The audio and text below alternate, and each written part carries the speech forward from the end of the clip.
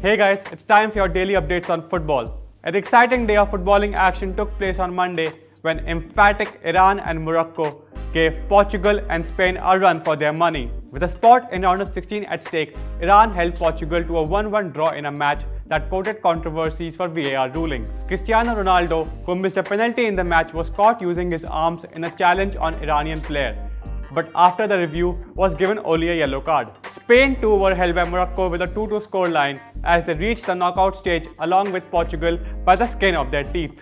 In other matches, Uruguay beat Russia 3-0 to top Group A and will face Portugal in round of 16. Saudi Arabia picked a consolation 2-1 win over Egypt. Moving to day 13, all eyes will be on Lionel Messi's Argentina as they face Nigeria in their final group stage match. After losing to Croatia 3-0, the 2014 World Cup runners-up need to win against the African nation to boost their hopes of making it to the knockout stages. They will also need to keep an eye on Croatia versus Iceland match tonight, which will take place at the same time.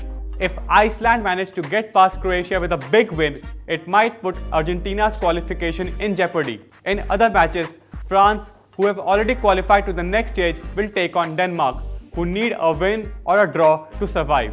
Peru, who have already been eliminated, will take on Australia in hopes of getting a consolation win. What more upsets are in store on day 13 in Russia? Give your predictions in the comments below and keep following IndianExpress.com for more live updates.